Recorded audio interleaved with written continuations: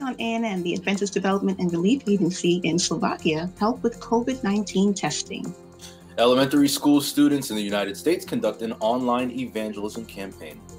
And later, Adventists help farmers in southern Africa who have been hit hard by the COVID 19 pandemic receive aid. These stories are coming up.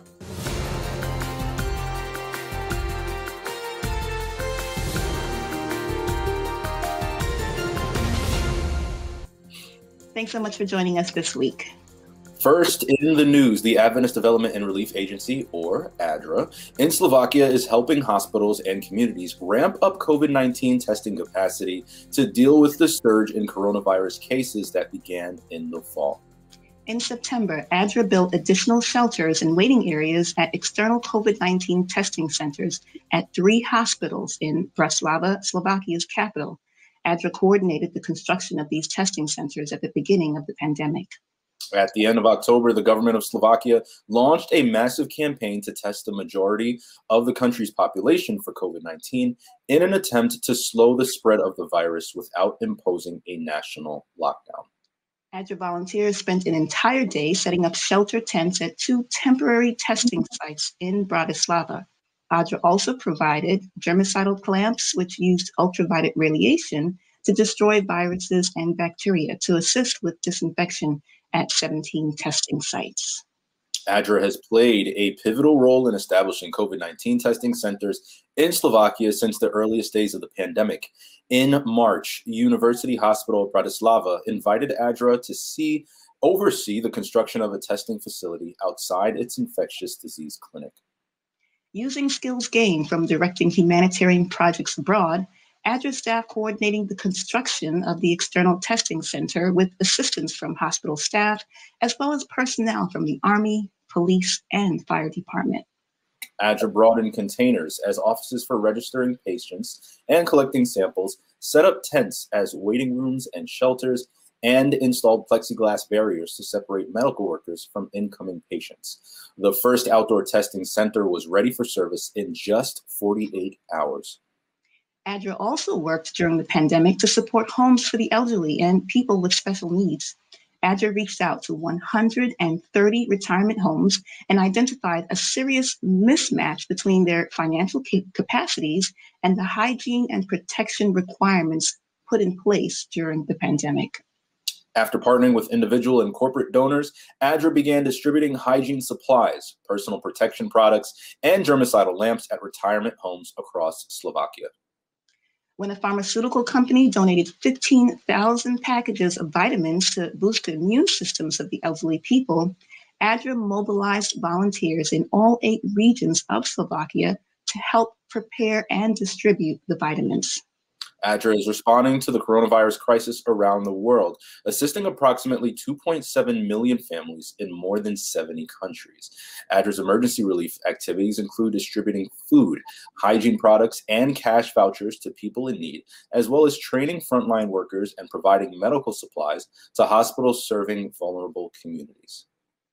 To learn more and get involved with ADRA's ongoing COVID 19 response, visit adra.org. Students from the Lake Region Conference in the United States recently participated in the Countdown to Eternity live stream series, which began on November 15th. The seminars revolved around the book of Revelation and end time events, and each night a different topic was presented.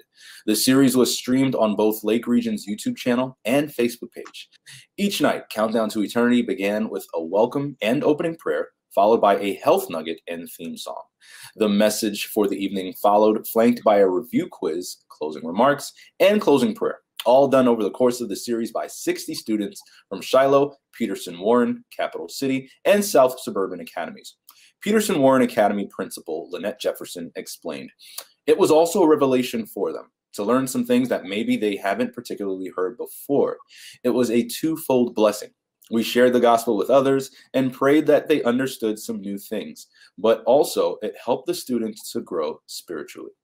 The schools began laying the groundwork for this initiative on September 13th, keeping students on course with their regular classes, which simultaneously hosting, while simultaneously hosting a virtual evangelistic seminar was no small undertaking. Under normal circumstances, a production of this magnitude would have taken a little less effort. However, due to the quarantine and the ongoing rise of COVID 19 cases, school principals had to dig deeply into their supply of creativity and resourcefulness to film and record the series. In reflecting on Countdown to Eternity, series creator and Detroit Burns Avenue member Tim Gardner said he was proud seeing the students execute the seminar. Personally, I'm amazed at what God can do with willing vessels, be it kids, elders, or lay people. If you are willing and obedient, it is an awesome privilege to be used by the Spirit of God. About 50 Seventh day Adventist volunteers have helped create Te Harinui, a television special that tells the story of how the gospel of Jesus Christ was delivered to the Maori, the indigenous people of New Zealand. The program was developed in response to a live Christmas performance at Ilam Seventh day Adventist Church in Christchurch at the end of 2019, which told the story of the birth of Christianity in New Zealand. Filming commenced in early 2020. Te Harinui tells the story of a friendship between a Northland chief named Ruatara and the Reverend Samuel Marsden from Port Jackson, Australia. Their chance meeting on board a sailing ship in the middle of the Atlantic Ocean led to a strong bond between the two men.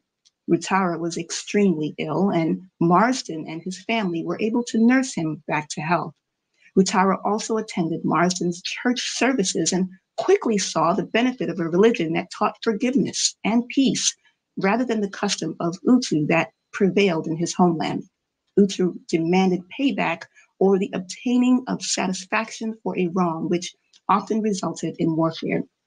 The friendship between Ruatara and Marsden was crucial in opening the door for the gospel to be shared with the Maori people and resulted in Ruatara inviting Marsden to bring missionaries to New Zealand. Marsden responded and arrived on the shores of New Zealand on December 23, 1814. He preached on Christmas Day of that year, expounding on Luke 2:10, which declares the birth of Christ to be the tidings of great joy, or Te Harinui. The series covers the outcome of that day, which over the next couple of decades resulted in a paradigm shift for the Maori people. By the 1840s, virtually all Maori people were aligned with Christianity, and before long, many of them became missionaries in their own right. Te Harinui was filmed and edited by Revelation 18 Media and will be screened in the week leading up to Christmas. Advent Health and Texas Health Resources hosted a ribbon cutting ceremony on December 1, celebrating the opening of their new joint venture facility, Texas Health Hospital Mansfield. The campus offers comprehensive services, including emergency care, general surgery, women's care, orthopedics, and interventional cardiology. Also from Advent Health, a new partnership with the school district of Osceola County and another Central Florida health system will help address food insecurity in the region. These are the stories from Advent Health this week.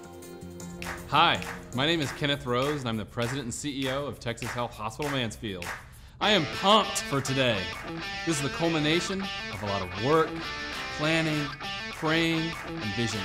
We've been preparing for this day, the day we're cutting the ribbon and opening this facility up to our community for months, for years. So it's so exciting to be here today and be part of the ribbon cutting, be part of this grand opening. I know we will accomplish great things together here at Texas Health Mansfield.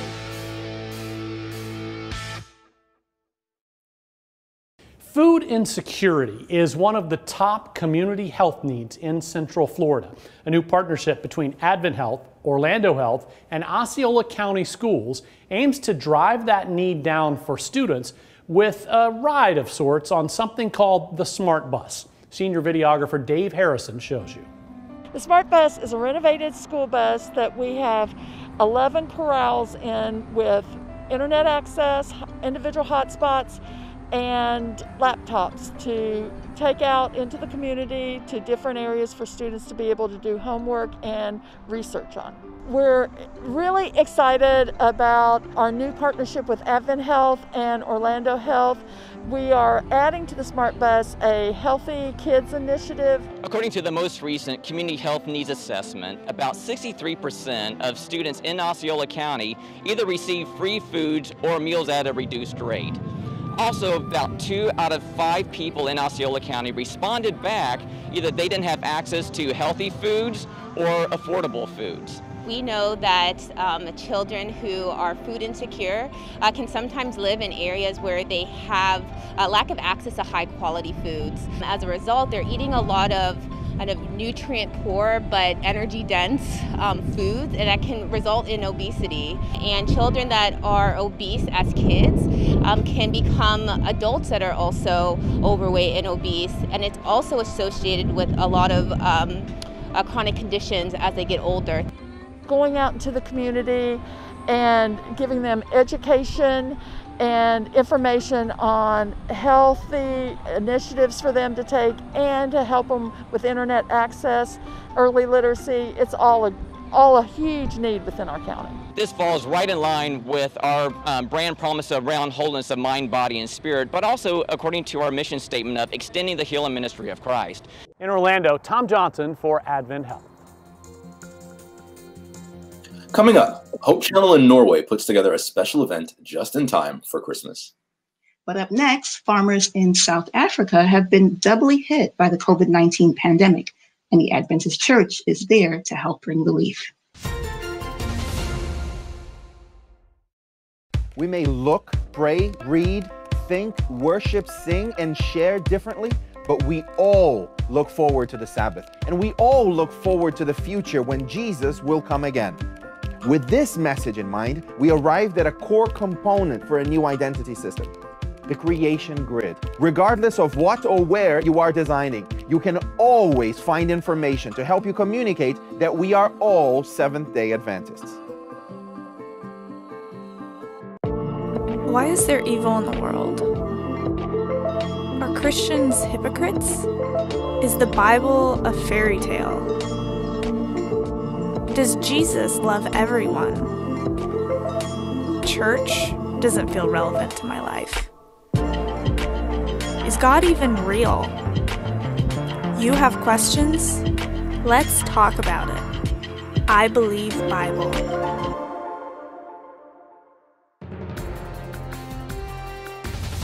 Welcome back.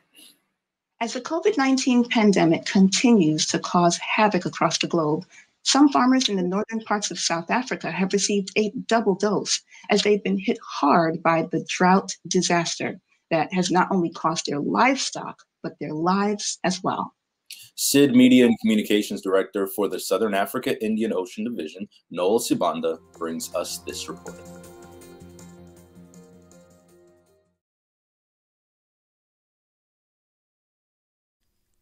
Southern Africa has been hard hit by the persistent drought due to global warming during the last decade, and the animals and the livestock have not been spared either. Parts of South Africa in the Southern Africa Indian Ocean Division is experiencing the worst drought in a thousand years. Touched by the death of God's creatures, Meals on Wheels under the Southern Africa Union Conference SAU have been feeding the underprivileged and elderly people in South Africa for the past 55 years, and they have since turned their humanitarian work to farmers by feeding their livestock and their workforce as well. The statistics of the drought is very scary here in South Africa, with 31,000 people losing their jobs, uh, with more than 7 billion rand lost to the industry. Um, at Meals on Wheels, we believe that if we support our farmers, the food will go back to the people that need it the most. Touched by the news headlines of some farmers committing suicide because they could not stomach or stand the sight of their dying livestock, Meals on Wheels, with a convoy of goodies, both for humans and livestock, made their way to the Northern Cape to be the hands and feet of Jesus as they champion the General Conference strategic plan of I Will Go. Up until today, I wasn't expecting anything and I wasn't sure on what kind of help we were going to receive. We also have, not only in this particular area, we've got farmers in other regions as well that has gone as far as committing suicide, that has gone through the process of minimizing and even giving away and selling half of their livestock. This indeed was a good surprise for us we would like to thank the Good Samaritans for their kind gesture. For Meals on Wheels, this humanitarian project is only the beginning of the good things to come and a long relationship that is not just going to save the sheep and cattle, but also humans as well, both physically and spiritually. As one farmer said, we're not only bringing food, but we're bringing spiritual food. The farmers were shocked and humbled by the good gesture shown by Meals on Wheels. I just want to thank all the organizations that are involved, especially um, Gift of the Givers, your organization, Meal on Wheels, as well as the AfriForum, and for all the other external um, companies. To feed more than 180,000 hot meals per day to the less privileged members of our society is indeed a milestone. But to take this humanitarian project to the farmers and their livestock is just an amazing love, and Meals on Wheels is determined to save God's creatures with the meager resources they have, and this project will save some of God's creation. Today we're happy to be able to make that difference to the farmers. We realize that without them we don't have food, and we want to encourage them to continue, uh, remind them that God is there for them, that we are there for them, and um, to wish them well. Um, we know we have been blessed with some rain and we are expecting more. And we just pray that um, we will be able to, to, go through this challenging time together. Um, as Meals on Wheels, we strive to transform lives through charity and motion. And um, we look forward to work with the farmers again to make that little difference that we care. This is our purpose, our reason for being. The reason why the Bible teaches us over and over again that we are of not any value until we are of service to the communities that we serve. So to be given the privilege to serve this larger community, the farming community that provides for the food that we eat every day, is an honor and a privilege for us at Meals on Wheels. Meals on Wheels is taking this noble project seriously and working hand in glove together with their donors. They want to bring more smiles to these farmers. As the rainy season continues in southern Africa, the pastures have been revived once again, as evidenced by some of the wildlife grazing behind me, a sign that summer is indeed here. And Meals on Wheels are taking no chances as they continue to soldier with their mission, that of bringing hope and love to these farmers and their livestock. For the Adventist News Network, this is Noel Sibanda reporting from South Africa. Christmas in Shadowdale is a brand new musical for children written and composed by Silja Leknes of Hope Channel, Norway. The project allows those who are interested to get the rights of the musical translated and make their own version of the series. Communication Director for the Adventist Church in Norway shares more.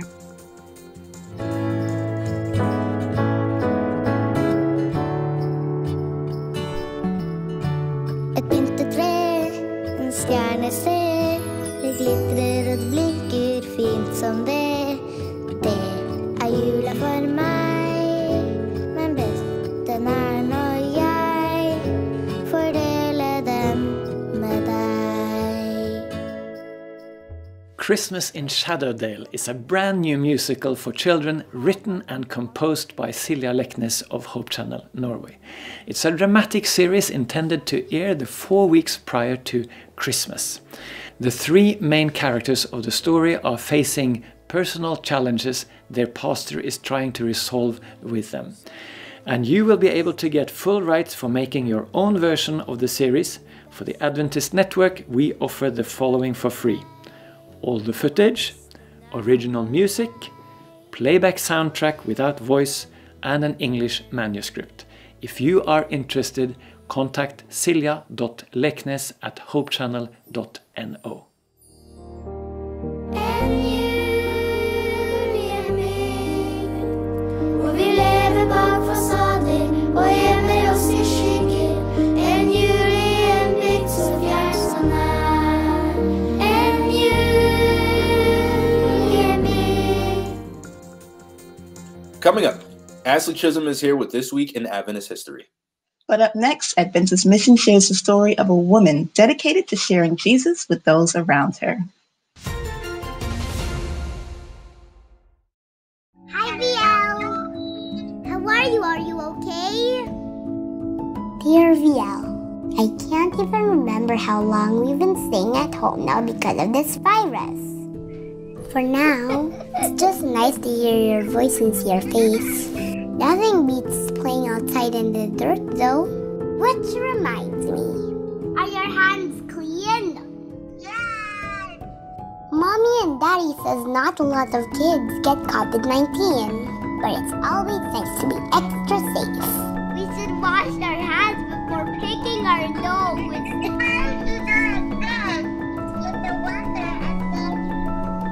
Washing our hands protects us, but it also keeps us from spreading the virus in case we touch something dirty. Let's always be clean and safe, okay? Love, Joey. Any idea what time it is? We really, really need our sleep. Are you from? No, we're not from the future, but we know you only pay attention to yourselves, so here we are. But how? We have no time for that. We have less than 30 seconds. Fact number one adults need seven hours of sound, restful sleep to keep their immune systems healthy and to fight viruses. And today, right now, is the single most important thing you can do to keep yourself healthy. What are you doing? We're just Googling if spicy foods cause hallucinations. Fact two staring at your phone or your computer right before bed prevents sound sleep. And you'll be tired the next day. And nobody got time for that. Can we just go to bed, please?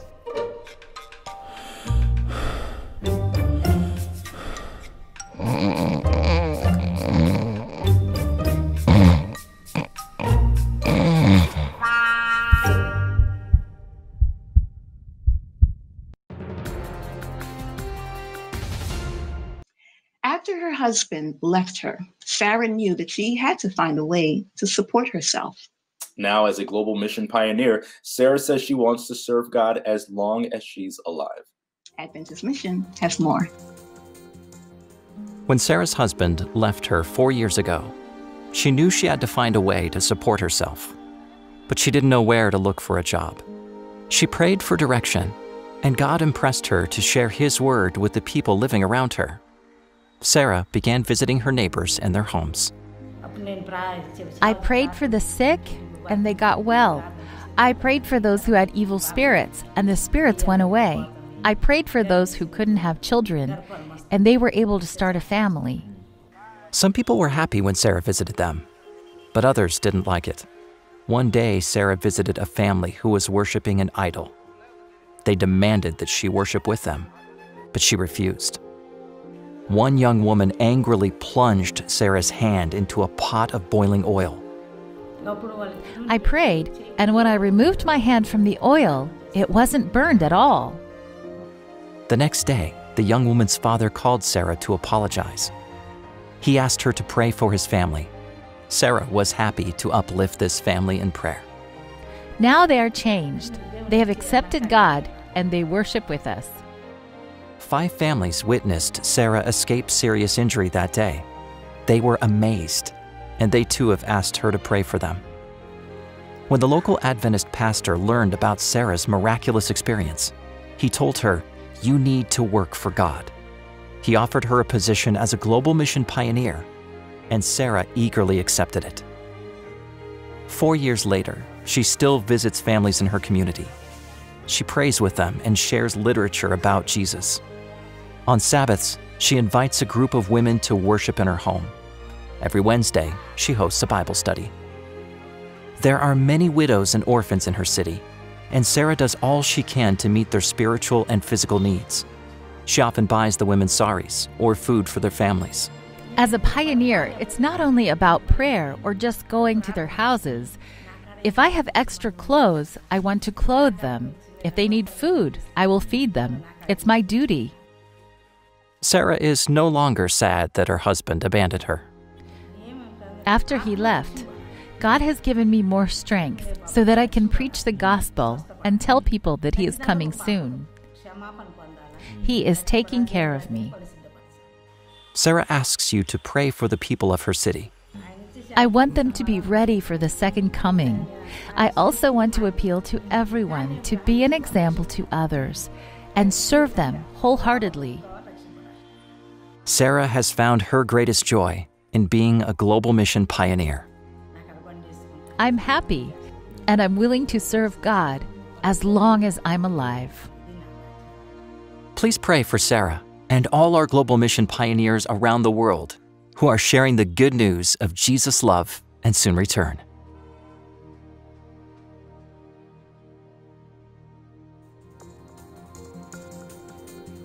Watch this and other mission stories online by visiting AdventistMission.org, then click on videos at the top. And finally, for today's episode, let's turn to Ashley Chisholm for a look at Adventist history. This week, we hear about Andrew Cudney, the first ordained minister sent to Pitcairn Island. Welcome to This Week in Adventist History. On December 14th, 1880, Andrew J. Cudney wrote of his four weeks' worth of evangelistic meetings held in Silver Hill, Nebraska. A few years of pastoral work soon saw Cudney called in 1888 to serve as the first ordained minister sent to Pitcairn Island. Leaving his wife Anna and their sons Bert and Paul in Nebraska to prepare for their later arrival, the 36 year old Cudney sailed first to Honolulu, Hawaii, and waited for a ship that could take him to Tahiti and on to Pitcairn. According to Cudney's letter from July 31st, 1888, published in the August 21st, 1888 re- issue of the Review, an Adventist in Honolulu had purchased a ship and hired a crew. I trust that our brethren here will take hold of the work with earnestness, Cudney wrote, adding, I ask your prayers that God may guide in his holy work. That was the last time anyone ever heard from Cudney or from anyone aboard the ship, which was presumed lost somewhere in the 2750 miles, nearly 4,500 kilometers between Honolulu and Tahiti.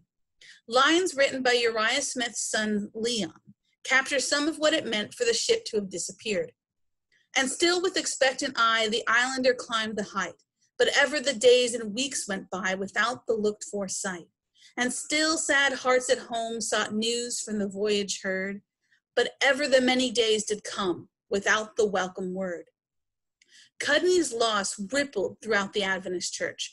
Among the responses, Sabbath schools throughout the church dedicated their mission offerings to the construction of a missionary ship, which was fittingly named the Pitcairn which finally arrived at its namesake in late 1890, 130 years ago, with much rejoicing. Out of heartache, hope. May Cudney's story be a reminder of that during the next week and throughout the holiday season. Thanks for watching, ANN. Join us next week for more news from the headquarters of the Seventh-day Adventist Church. We'd love to hear from you. Send us your feedback and tell us how your church is making a difference in its community. Be sure to capture plenty of video footage and photos, then write up a summary of the event's important details, and feel free to send a full video report as well. That's right. You can reach us by sending an email to annvideo11 at gmail.com. Before we say goodbye, here's some good news, and it comes from the book of Acts, chapter 3, verse 19 and 20. And the passage says, Repent then and turn to God, so that your sins may be wiped out, that times of refreshing may come from the Lord, and that he may send the Messiah who has been appointed for you, even Jesus. Amen. Well, that's our program for this week. Remember, you can always visit Adventist.news for daily news and videos. Until next time, God bless. Take care.